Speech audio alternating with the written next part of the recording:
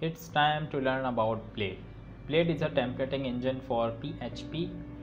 PHP has its own templating engine but it's not very friendly and there are other templating engines out there to make PHP a lot easier to use. So this is uh, just a very little bit of Blade. Let's create a template uh, in views, uh, create a new folder and we name it layout. And in layout we create a new file and we call it app.blade.php so this is our main file and where we will have this html5 tag and we will say it learning laravel we could have so many css here. All css goes here. Okay. And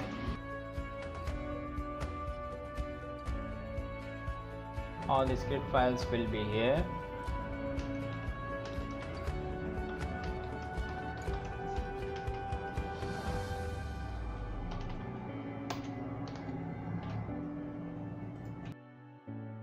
so uh, we can say that uh, these this script will be dead uh, which is constant to our application.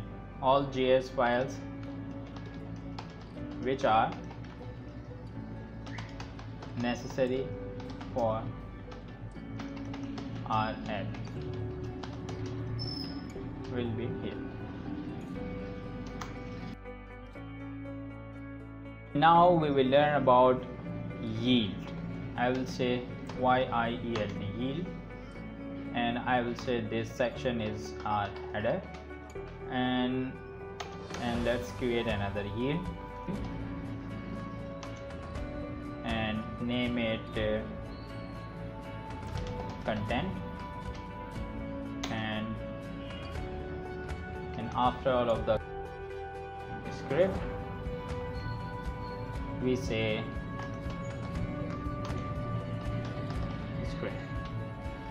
so this is our complete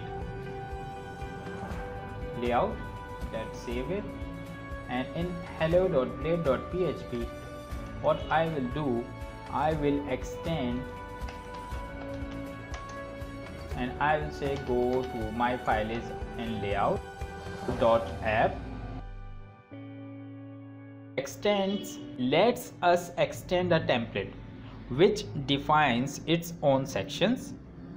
A template that we can extend will define its own sections using yield which we can then put our own stuff into in our view file extends with section is more powerful and convenient way to use layout especially in larger applications.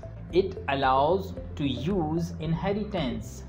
Uh, we could provide a base template and then another child template that extends that one which subsequently yields its own sections. We can then extend that child template. So we created we have app and here is header. So we will define our section. I will name it header and I will say that this is header